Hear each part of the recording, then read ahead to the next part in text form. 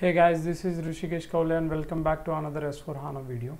So in this video we are going to see the see an error message which is ME020 uh, which is for item category not defined for the document type. Okay, so let's start with that.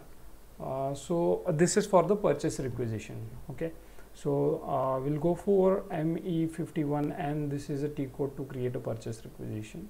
So here when we come here we'll select our document type like we are selecting KBDR.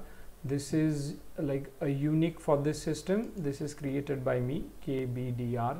So you can create anything else. You can just check out other videos to how to create a document type.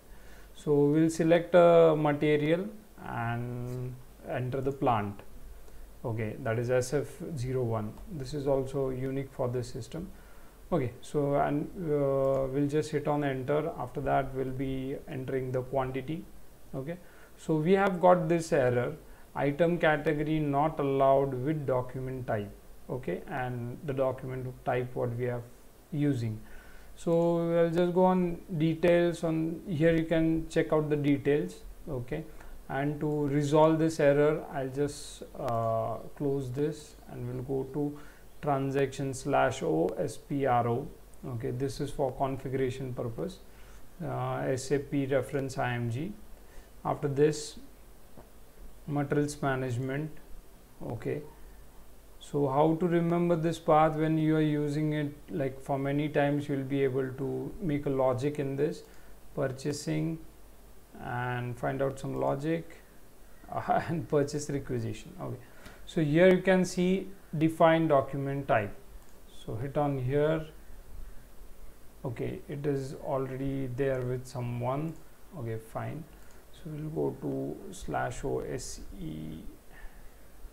sm12 i think. Sm12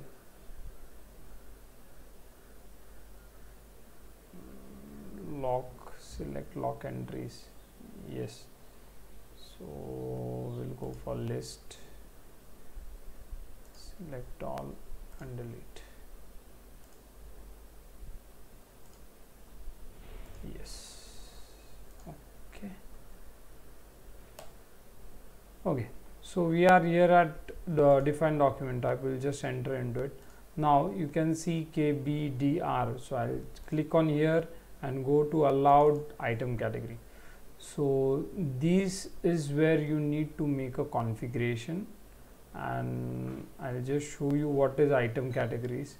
So you will be not able to see here. Okay we'll be see able to. Like I'll click on new entries and this is item category. Just click on here.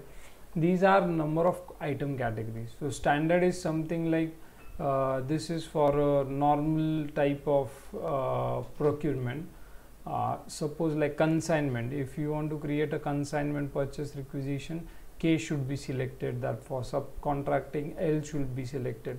So this is like if you are creating a multiple document types uh, like respective with the uh, item category or type of uh, procurements. So you can assign this. Now for this document type suppose we are having like we'll be procuring standard then we'll be also procuring the subcontracting. We'll be also procuring the stock transfer orders we'll be doing through this. So okay i'll just click on enter and you'll we'll get all here. So now using this document type we'll be only able to create the item categories. This is what we have mentioned here. Okay so i'll click on save save and here will be coming okay we'll go for a new screen again me51n because we have made some configurations.